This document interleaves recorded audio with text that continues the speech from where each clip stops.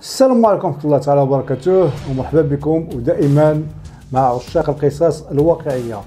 تخيلوا شخص يتحكم عليه بالإعدام ويفضل يسجن راسو ماشي في حبس ولكن يعني شبه قبر وهو عبارة عن قابو الطول ديالو جوج متر والعرض ديالو متر والارتفاع ديالو متر. يعني كيف قلت شبه قبر لمدة 37 سنة. وإذا كنت من عشاق القصص الواقعية وقصص الطخوية شرفنا باشتراكك. خلي لنا شي لايك خلي لنا شي تعليق حول الموضوع ولا شي نقد بناء نصليو على النبي ونبداو قصتنا. كارلوك هو واحد الشخص أمريكي عايش حياته هو والزوجة ديالو والأولاد ديالو. يعني كيف جميع الناس. وفي واحد الليلة من سنة 1964 كيحس بثلاثة الأشخاص كيحوموا على الدار.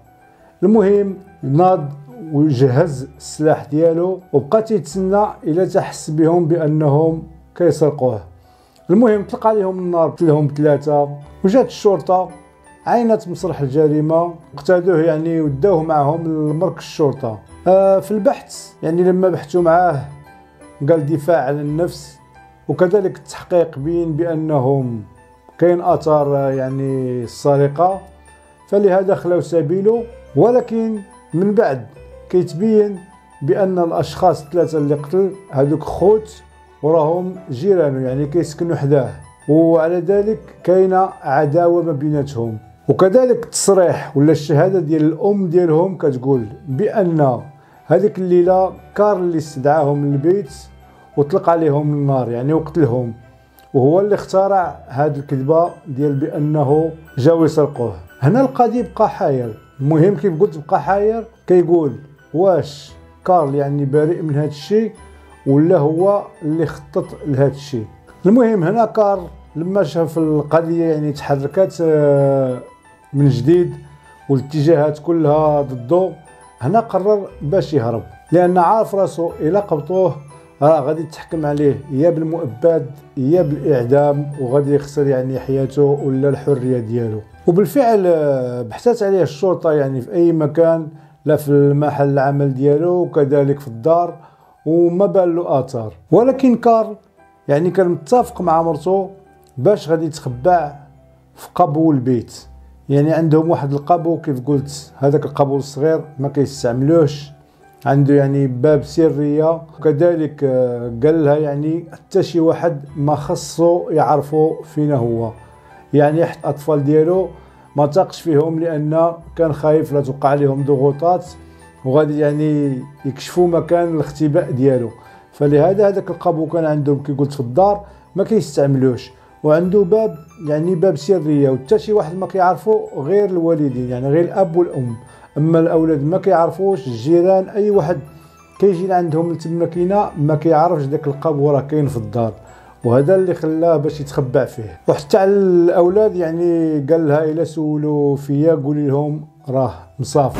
المهم بقى مخبع تما كاينة والزوجة ديالو هي اللي كت يعني كتدخل له ما ياكل وما يشرب يعني بسرية. وكذلك كتخبر كتخبروا يعني على الأخبار اللي رايجه وهو في نيته يعني كان باغي يبقى مخبع تما كاين يعني لفتره من الزمان إلى حتى تسقط آه، يعني الدعوة ولا القضية عبر تقادم. ولا ينساو قضيته يشوف الفكرة اللي كانت عنده. يعني كان باغي يبقى مخبع إلى حتى تبان شي نقطة اللي تبان البراءة ديالو فيها. ولكن للأسف بعد سنوات الزوجة ديالو كتوفى يعني هي اللي كانت تترعاه هي اللي كانت تدخل له ما ياكل وما يشرب. يعني وكتخبروا بجميع الأخبار اللي كتروج في الخارج.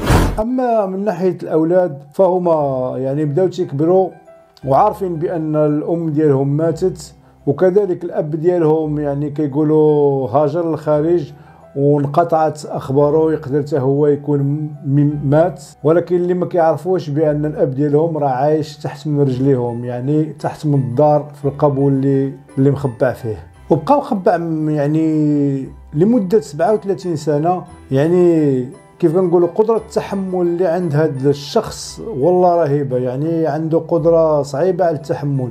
لأن 37 سنة كان فارق راه خرج. يعني فار ما يقدرش يعيش مدة طويلة في الغار تحت. والمشكل هذه قصة واقعية يعني ماشي خيالية ولا قصة غير مكتوبة. لأن جميع القصص اللي كنحكي كلهم واقعيين من الواقع الحالي. يعني ما كاينش شي قصة خيالية. المهم آه، غنتسالوا كيفاش هذا الشخص بقى عايش يعني من بعد ما مات مراته. أش كان تياكل؟ يعني أش كان تيشرب؟ يعني كيفاش آه، كان محبوس ذاك المدة كلها؟ كيفاش كان عايش؟ هذا هو التساؤل. المهم كيف قلت من بعد ما مات مراته يعني والولاد كبروا يعني باعوا البيت. باعوه لعائله واحدة أخرى سموها العائلة الثانية وجات عائلة ثالثة واحدة أخرى وجات عائلة رابعة سكنات ذاك الدار. يعني العائلة ديالو وثلاثة العائلات من بعد منه سكنوه هو مازال عايش تما كاينة وكيف قلنا أش كان تياكل وأش كان تيشرب. هذا الشخص كان تيبقى يعني ساكت حتى تيسمع حتى شي حس ما بقى يعني في الدار حتى شي واحد ما كيدور تيعرفهم بأنهم نعسوا يعني منين كيوقع منين ما كيبقاش الضجيج يعني في الدار ولا شي حد كيتحرك هو راه تحت الدار يعني كيسمع كل شيء تماكش كيدير؟ كيتسلت كيفتح الباب وكيطلع كيدخل الكوزينة الثلاجه يعني واللي لقاها قدامه تياكل منها ولا كيهبط معاه القب واش غياكل. ولكن ما كانش تيخلي يعني ولا ما كانش تيبين يحاول يبين بأن شي حاجة مشات من الماكلة ولا من الشراب ولا المهم كان تياخذ داكشي بالقياس وتيرجع للمكان ديالو ويشد عليه. وبقى عايش على هذا الحال يعني لمدة 37 سنة. خايف يعني خايف إلى خرج ولا راه غادي يتعدم ولا غادي المهم غادي يلقيو عليه القبض وغادي يعدموه. فلهذا كان نهار مور نهار وشهر مور شهر ويعني سنة مور سنة هو مخبع تما كاينة وعلى هذا الحال. كل ليله كيف قلت منين ينعسوا أهل البيت كيتسحب وكيطلع كياخذ ما ياكل وتيرجع عاوتاني للمكان ديالو. هي حتى سكنت العائلة الرابعة. وهنا فين غادي يعني تفضح المخبأ ديال كارل وهو واحد الطفل صغير عند هذيك العائلة يعني كيقول لوالديه كل ليله كيسمع شي باب كتفتح وكيسمع خطوات يعني في البيت. شي واحد كيتمشى بالليل في البيت. ولكن الوالدين ديالو يعني ما ما عطاوش اهتمام الامر ما صدقوش. تيقولوا يعني راه تيحلم ولا تهيؤات كتجيلو. ولكن كيف قلت ما ما تيقوا حد. إلى حتى كار تصاب بالضيقة يعني بمرض الربو وبدا تيكح.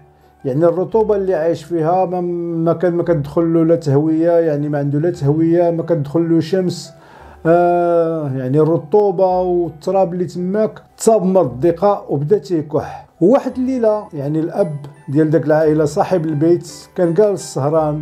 هو تيسمع يعني الكحان ديال شي حد. ما ما تيقش كيسمع الكحان ولكن قريب ولكن يعني مخلوق داك الصوت. ناض فيق آه ولادو فيق مراته وقال لهم كل شيء يسكت يعني وتماك كلهم تيسمعوا يعني الكحان والمشكلة ما يكونش ديال الجيران لأن الديور ولا البيوت اللي ساكنين فيها يعني مسافة ما بينك وما بين الجار ديالك.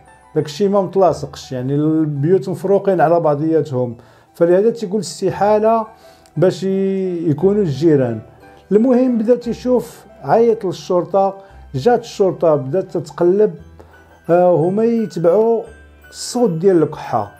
تما كاين لقاو داك الباب ملي تيفتحوه تيلقاو كارل جالس تما كاينة اش كدير انت هنايا؟ يعني ما صاب ما يقول قال لهم أنا هو كارل اللي يعني هربت من واحد الجريمة. وبالفعل يعني في الأول حكموا عليه بالمؤبد ولكن منين هرب؟ يعني عاود حكموا عليه بالإعدام غيابي وبقى محكوم بالإعدام. وهذا الشيء اللي خبرته يعني مراته قبل ما تموت بأنه تحكم عليه بالإعدام ومني مات مراته يعني تقطعت عليه أخبار الخارج ما بقى تعرف كيف. قلت لأن مراته هي الوحيدة الشخص الوحيد اللي كان عارفه فين مخبع شخص آخر ما كان حتى شي واحد عارفه غير مراته ولكن منين المراه ديالو توفات قطعت عليه الأخبار.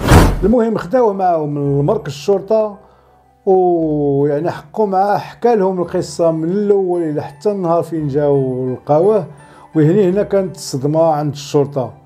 قالوا هذا يا إما حمق يا إما هربان مشي يعني مشي مصحة لأن هذه القصة ما ما حتى شي واحد. كيفاش الشخص عايش تحت 37 سنة. المهم باش غادي يتأكدوا من القصة ديالو المهم مشاو للارشيف بداو تيقلبوا وهنا يتصدموا لأن في وسط الملفات لقاو الملف ديالو ولقاو بأن هذه القضية بصح. هنا كيصدموا الشرطي. قال له واش ما عرفتيش شنو طرا في قضيتك؟ قال له لا لأن كيف قلنا الزوجة ديالو هي اللي كتنقل له الأخبار ويعني من بعد ما تحكم بالإعدام يعني كان عارف الحكم ديالو. ولكن قلت هنا الشرطه كيصدموا كيقول له لأن من بعد ما تحكمتي بالإعدام الأم ديال الإخوة اللي قتلتي يعني يعني حسات بالندم وتأنيب الضمير ومشات للمحكمة واعترفت الاعتراف ديالها بأن ولادها كانوا باغيين يسرقوك ذاك الليلة ويقتلوك. فلهذا برأته المحكمة وتطوى الملف القضية ديالو هنا يعني كانت صدمة لكارل والنهاية ديالو ما موجوداش في القصة يعني باش انتهت به الحياة ولكن يا إما غادي يكون حماق ولا غيسكت له قلبه. المهم خليونا في التعاليق حال كارل يعني شنو صرا به من يسمع هذا الخبر؟ بأنه يعني بسبب الخوف ديالو عاش 37 سنة يعني في قبو بحال القبر. آه وهو بريء وقصنا وصلت نهايتها. نطلبوا من الله تكون عجبتكم. ما تنساوناش بلايك. اللي ما مشتركش في هذه القناة يحاول يدعمنا بالاشتراك. خليونا شي تعليق ولا شي نقد بناء واستودعكم الله والسلام عليكم.